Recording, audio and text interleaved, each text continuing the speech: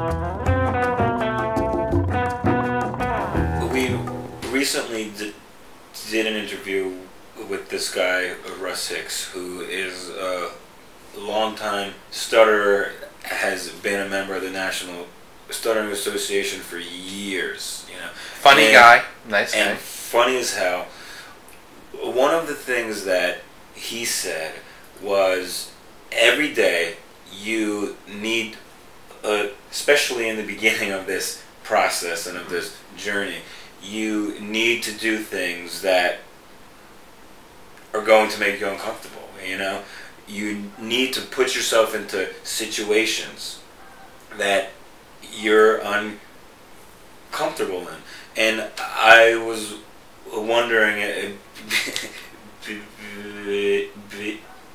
because I know you're into this sort of thing, and uh, I've seen over the past week, like you really trying to challenge yourself. And I was wondering if you could talk a little bit about why that's been important to you.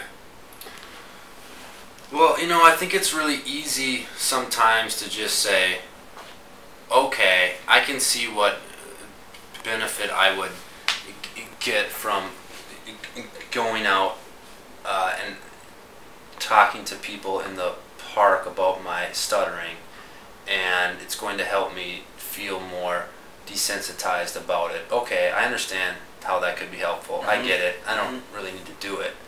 But there's something about when you actually feel those feelings, you want when you when you challenge yourself and you do these things that you didn't think you would be able to do before. And there's a sense of accomplishment that goes along with the fact that you're actually desensitizing yourself to stuttering and those two things together I think really help. Yeah, and Catherine always talks about too, like the the liberation and becoming fearless, and that just that feeling of empowerment. That mm-hmm. I mean, especially in the beginning, like I know you're feeling this right now too. It's so empowering, and it's so like, man, for such a long time, I've been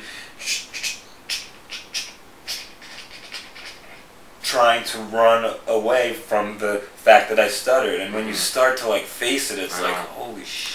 What? it- um, That's a good bleep.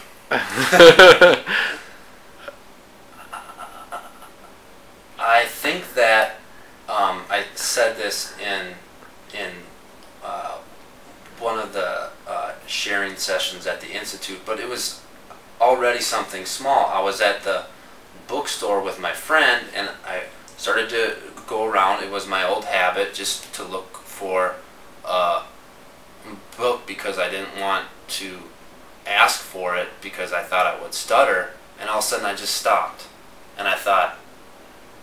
I can go ask, you know, and it's not a problem.